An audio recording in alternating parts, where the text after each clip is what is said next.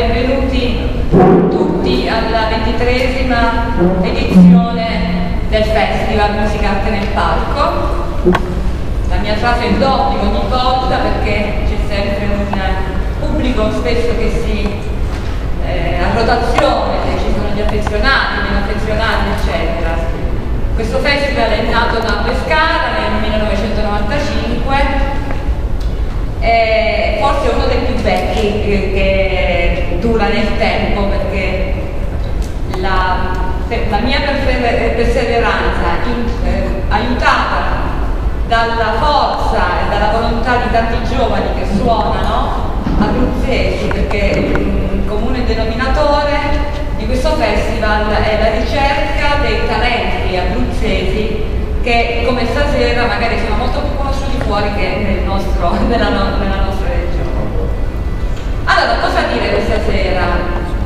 Io, come voi sapete, non mi preparo mai niente, ma vado sempre un po' a braccio. Io sono una pianista, ma eh, presento sempre questi concerti perché la musica fa parte della nostra vita in toto.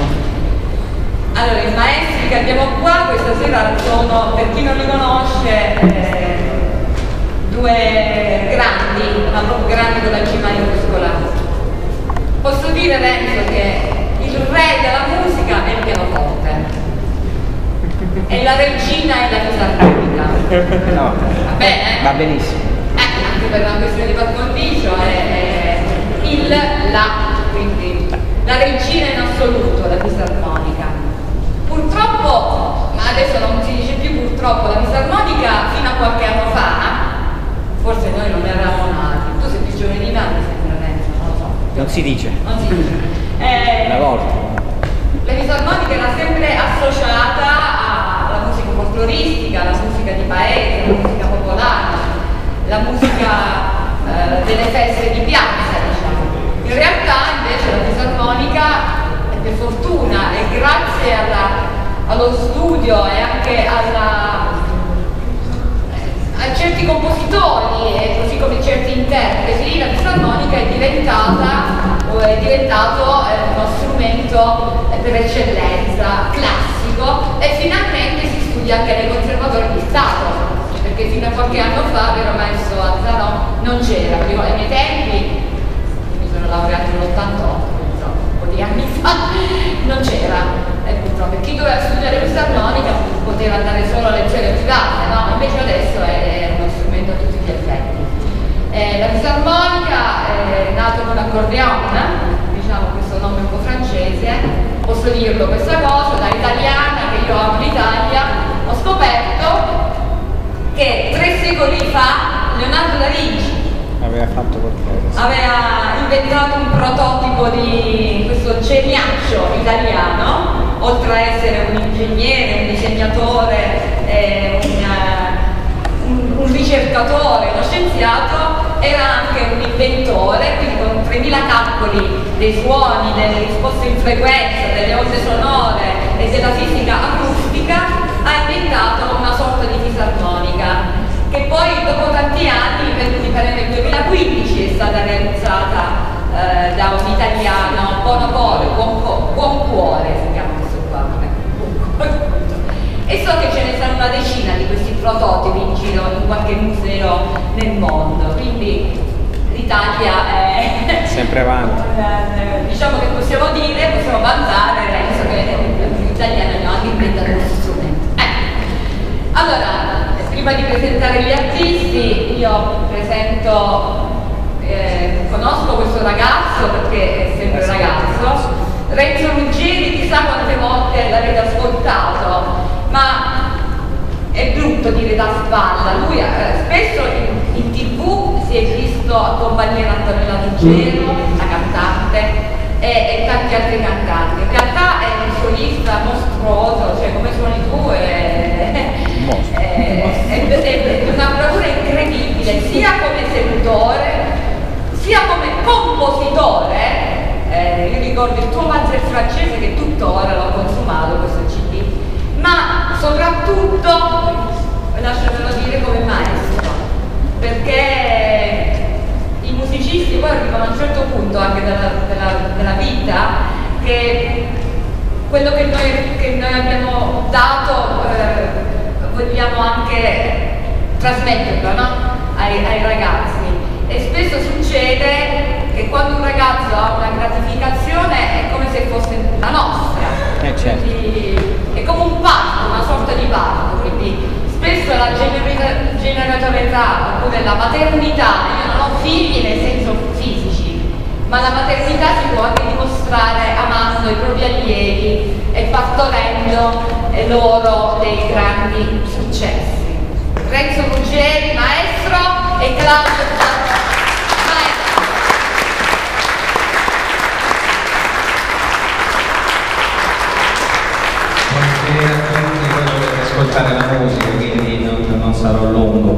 Lei è un'amica, quindi è chiaro che, che mi fa che ci faccio sbagliare i cani. Dicevo, quindi è un'amica, insomma, dice cose bellissime su di me, però sono di me, non sono tutte le cose che ha detto lei. Va bene, scherzi a parte, io stasera rispetto allo scorso anno volevo, ho portato questo maestro Claudio Azzaro che anche assieme a me facciamo parte dello stesso team e abbiamo preparato questi ragazzi che voi ascolterete. E perché questa serata? Perché questo concerto? in realtà eh, è nato casualmente, ma lo scorso anno fu talmente un successo anche di pubblico e anche i commenti arrivati successivamente sono stati talmente belli che abbiamo deciso di riproporlo. Tra l'altro ci ha anche portato fortuna. Quindi che cos'è questo concerto per le nostre scuole? Come diceva la, la, la cara amica, eh, noi siamo dei secondi genitori di questi ragazzi e ci preoccupiamo anche di quello che sarà il loro futuro, almeno per quel, quel breve periodo che stanno con noi. Quindi cerchiamo questi ragazzi di, di metterli alla prova, non soltanto insegnando le nozioni teoriche che non bastano. E quindi ci preoccupiamo di creare degli eventi.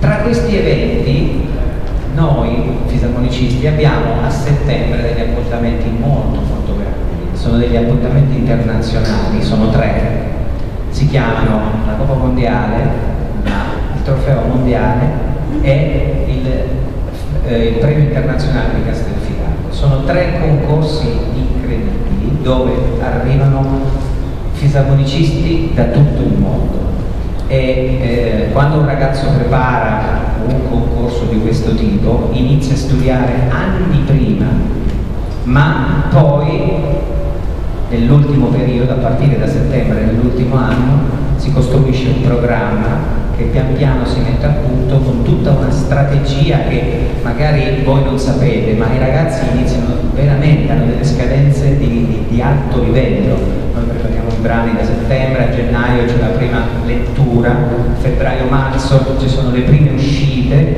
quindi le prime gare di avvicinamento, poi giugno-luglio ci sono i seminari dove si fanno i brani per intero e cominciano a venire fuori tutti i problemi, tutti i problemi a sistemare eccetera. E poi prima di settembre si cercano degli appuntamenti per suonare dal vivo il programma. E questo è praticamente l'ultimo appuntamento. Infatti quello che, che voi ascolterete stasera sono i programmi che questi ragazzi faranno fra un mese circa.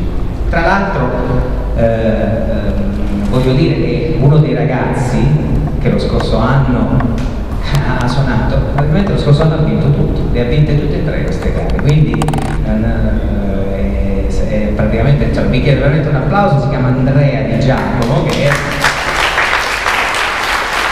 quindi lui ha portato fortuna. questo significa che inizia una carriera nella sua vita, a livello internazionale, quindi ha avuto la possibilità di, di, di girare. Cioè, ecco, Quest'anno una di queste gare non, non, la faremo perché è molto distante in Canada, ma ci recheremo il 24 di settembre con alcuni di loro, non tutti perché alcuni stanno proprio all'inizio, e andremo in Lituania a fare questo concorso internazionale importante. Invece tutti faremo la competizione di Castelfidardo che è il premio internazionale di Castelfidardo per chi non lo sa Castelfidardo è la città delle fisarmonie e tra l'altro una novità che tu non sai premio internazionale di Castelfidardo, quest'anno mi hanno eletto direttore artistico. Cioè, capito? Quindi è stata, è stata, mi ha portato fortuna, insomma. Solito se non passo più e vi faccio ascoltare musica.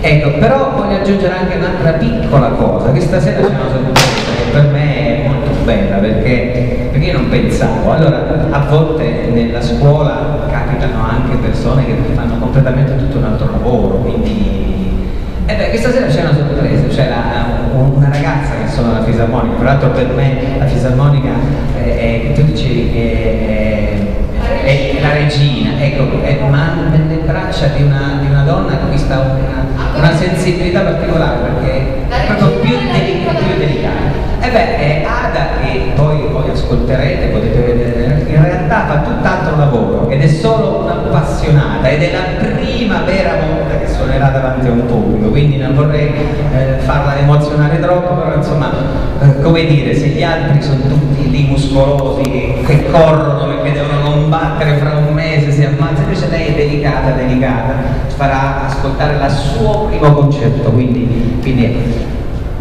buon ascolto e incoraggiamoli, sono ragazzi giovanissimi e qualcuno di loro diventerà grande nel futuro, io sono sicuro che diventeranno tutti grandissimi.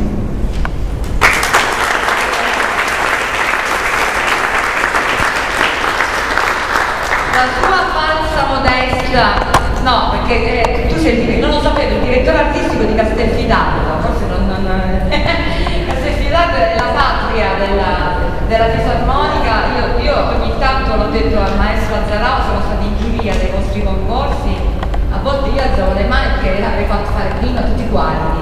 Eh, eh, quindi abbiamo veramente una, una grande personalità, Vabbè, due grandi la festa dei ragazzi. Allora, Renzo Ruggeri, Claudio Azzaro.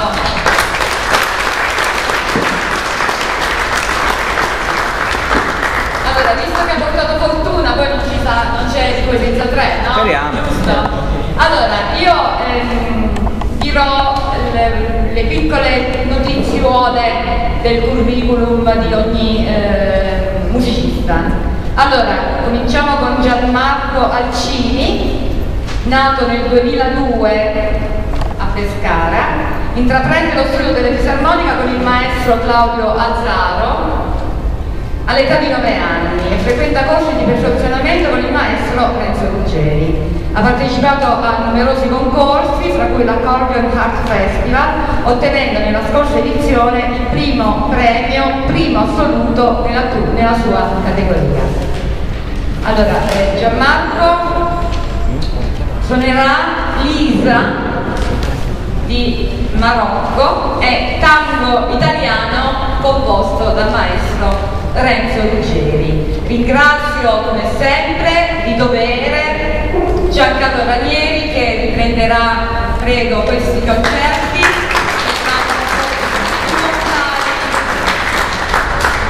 appunto su, sul canale YouTube che conosciamo tutti quanti, quindi un, eh, un, un lavoro prioritario, il tuo è storico perché li renderà immortali. Prego, Gianmarco Alcini.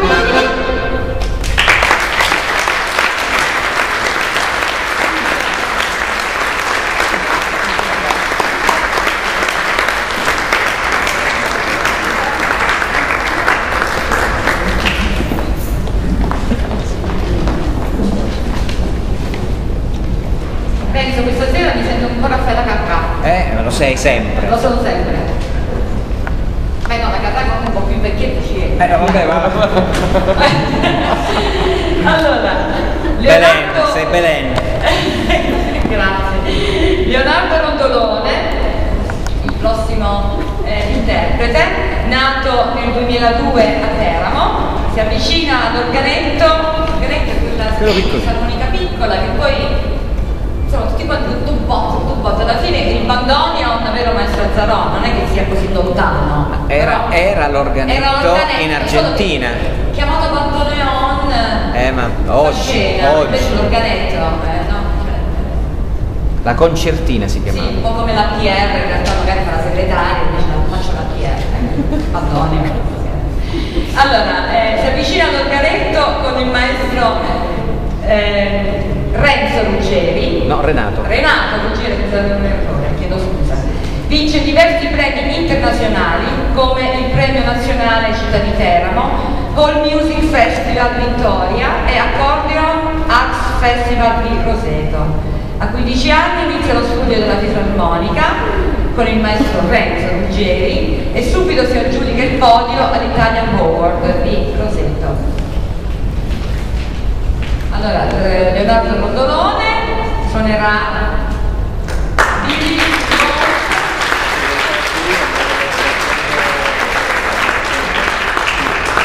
Allora, Billy Bones di eh, Jerry Parker, grande jazzista con arrangiamento di Renzo Ruggeri, poi una tempête di Astier, Lisa del maestro Marocco e poi il Volto degli Angeli di Carrozza con l'arrangiamento di Renzo Ruggeri. Leonardo Rondolone.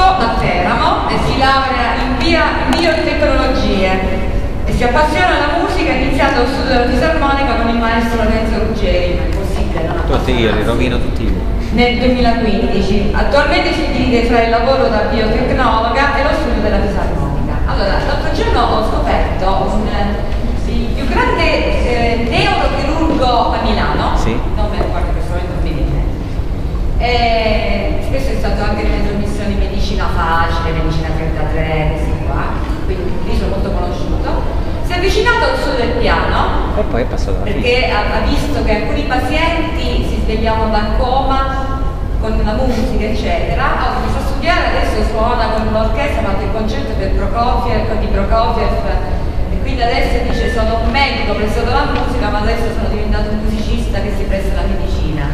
Quindi spesso succede questa contaminazione di, vari, di varie passioni, quindi eh, questa, quella- questa bellissima ragazza può sicuramente eh, attuare tutte e due le sue passioni indistintamente dai, dai- dai ruoli.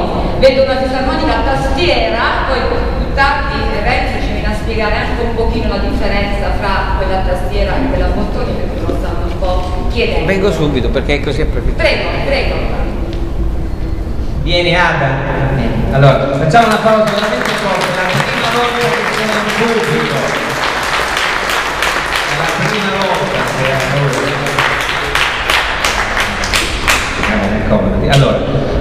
dite, dunque, la- per chi non conosce questo strumento, giustamente, come diceva eh, la- la- la- no, come, giustamente come diceva lei, questo è uno strumento molto giovane. Ecco perché la fisarmonica ha avuto solo lo sviluppo popolare, ma è uno strumento molto giovane. Pensate che è lo strumento acustico più giovane in assoluto.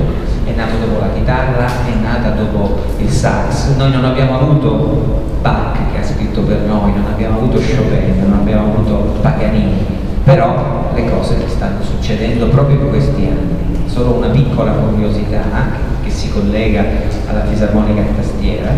Abbiamo avuto questo grandissimo artista del Novecento, cioè Astor Piazzolla, che suonava il bandoneon. Il bandoneon cos'era? Non era altro che proprio un organetto, si chiamava concertina, poi lo hanno fatto più grande, con più note, sempre più note, fino a che non è nato il bandoneon, ma in realtà tutt'oggi è lo strumento popolare dell'Argentina. Loro infatti non riconoscono la grandezza di, di- di Piazzolla perché lo considerano un, un- un artista che ha profanato la musica popolare. Vabbè, però al di là di questo. Bene, la stessa cosa è successa con la fisarmonica.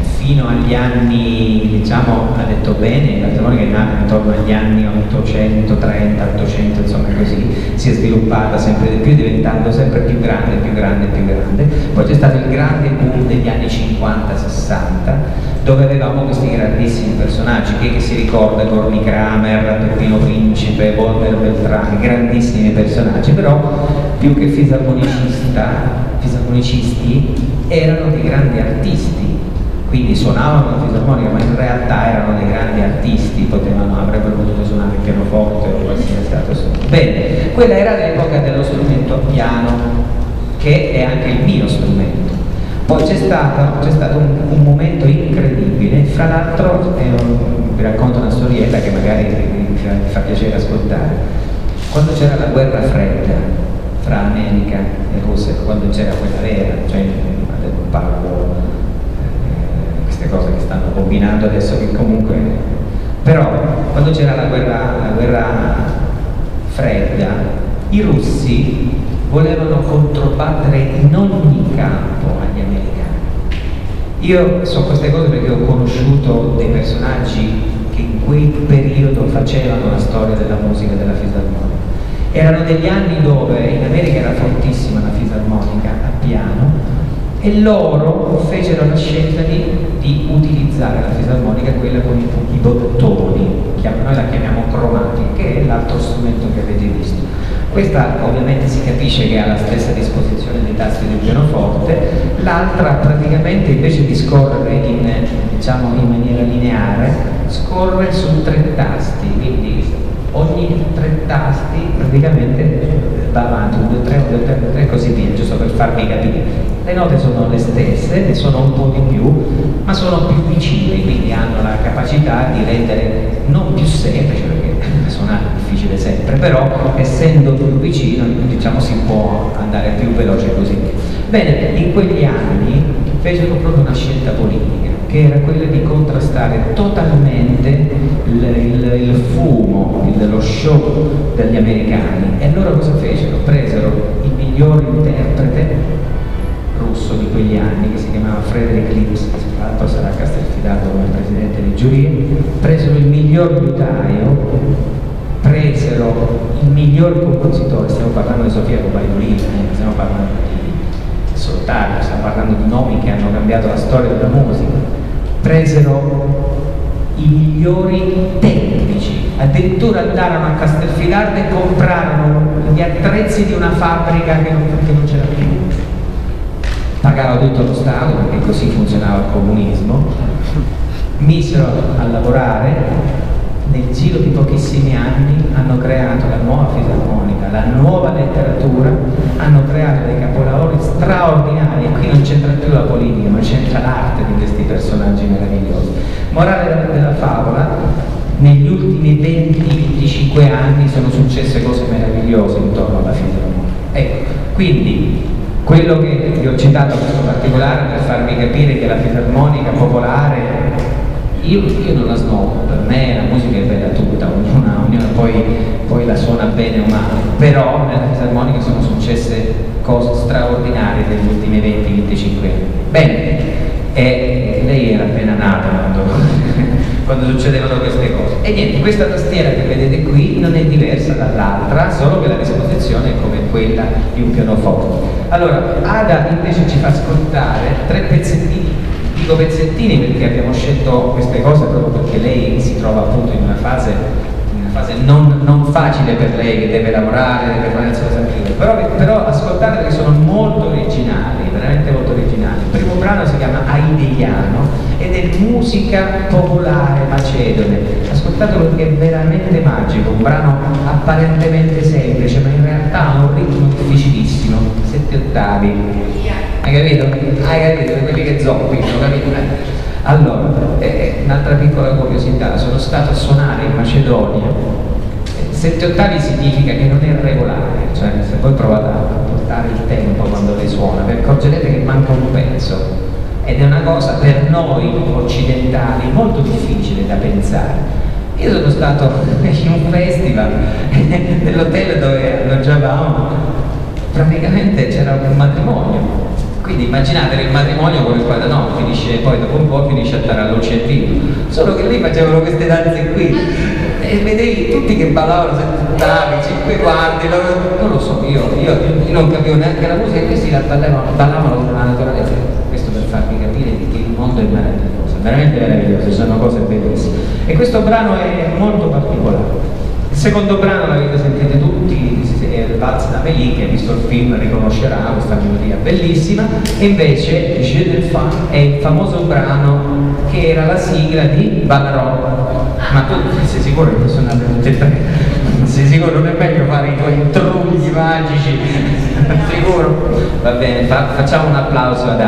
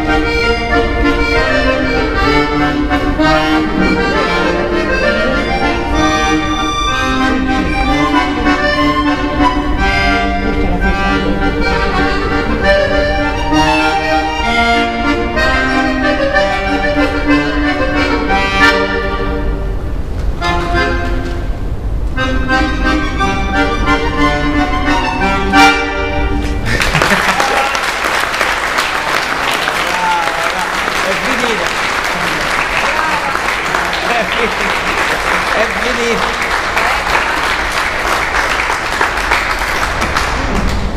Guarda che a me ando peggio, eh.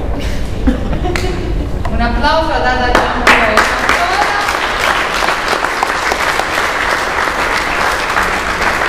Adesso è d'obbligo ti chiedo di che cosa ti occupi di biotecnologia? Ah, non l'ho capito, io sono due anni, ma non ho capito. No, perché sono cose che, che solito eh, in televisione parlano sempre. Secondo me non lo sa neanche lei, tu lo sai. No, mi occupo di qualità, sono in un'azienda solo in ufficio. Qualità di? Qualità di dispositivi medici. Quindi le medicine. Più o meno. Facciamo bene a prendere ingegneria? No. Posso dire che la musica salva. Vabbè, abbiamo amici adesso in alto, eh. Sì, no, dico, posso dire che la musica salva l'anima e il corpo anche? Decisamente. Eh, ma per questo lei Quindi, suona, eh, per questo No, lei sta preoccupata, non dice assolutamente, io sto dicendo che la musica è veramente la medicina dell'anima, no? Con tutto il rispetto delle case farmaceutiche, eccetera, eccetera. Quindi eh, è molto più nobile lo studio della, della disarmonia. Bravissima, bravissima.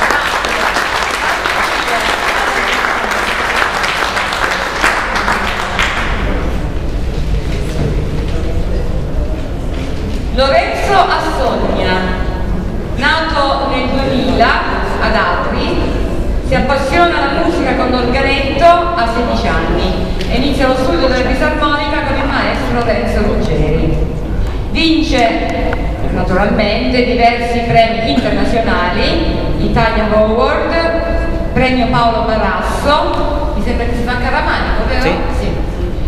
ed altri importanti eh, piazzamenti. Nel 2018, quindi quest'anno, supera le selezioni nazionali per la Coppa del Mondo e il Trofeo Mondiale. Lorenzo Assogna